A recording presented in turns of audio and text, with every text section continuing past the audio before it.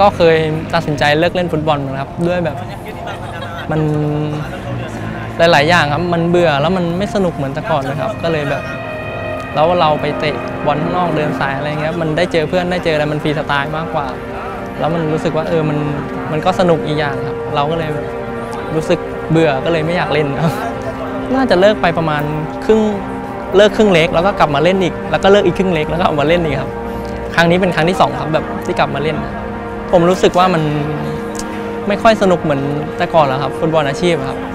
ผมก็เลยรู้สึกว่าเบื่อเบื่อแล้วนี้เหมือนแบบ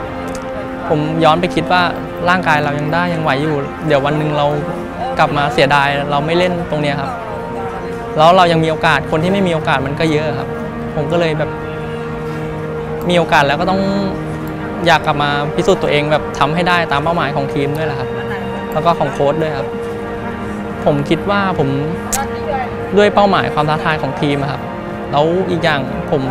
อยากพิสูจน์ตัวเอง อยากทำให้ได้ครับ ผมแบบคนไม่ยอมเลยครับแบบถ้าเราคิดว่าเราจะต้องทำตามเป้าหมายเราอยากทำใช่ใช่มันมันก็มีส่วนนะครับแบบ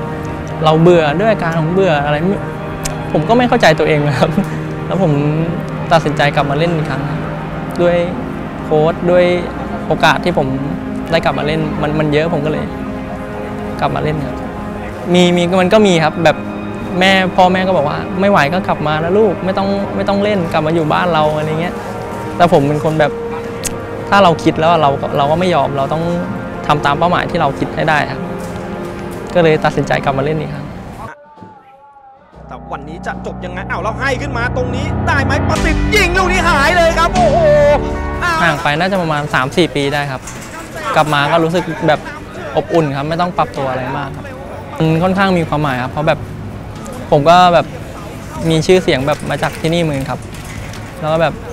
เรามีเป้าหมายเพื่อที่จะหนีตกชั้นด้วยครับ